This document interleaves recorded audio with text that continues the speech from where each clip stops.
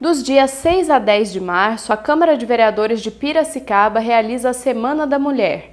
Uma série de atividades foi programada tendo em vista o empoderamento feminino.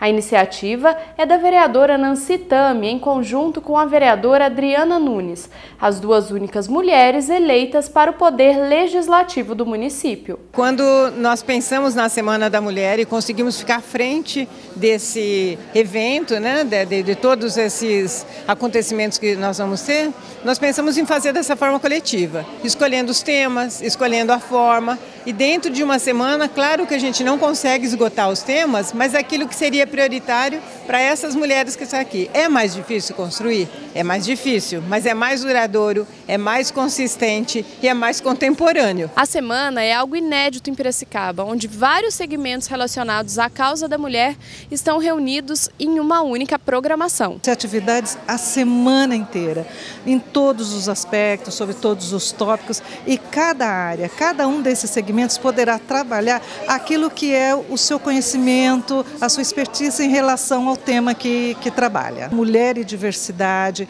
a questão da etnia, da raça, da inclusão, da deficiência física de mulheres que também se inserem aí na vida, no cotidiano da cidade. Eu, eu fico feliz de ver esse movimento, é, de ter representantes de várias entidades aqui é, pensando nessa situação mundial. Eu tenho acompanhado esse trabalho da vereadora Nancy e todo esse empenho em estar fazendo essa discussão de empoderamento de todos os setores aqui da sociedade, o que envolvem as mulheres, o empreendedorismo. O dia 8 de março é marcado como Dia Internacional da Mulher mas a luta por respeito e igualdade devem continuar também nos outros dias do ano. A mulher hoje é, é, inegável, ninguém mais segura essa onda de que nós estamos avançando em direitos iguais. Está ótimo, não está ótimo. Nós tivemos avanços, mas tem muito ainda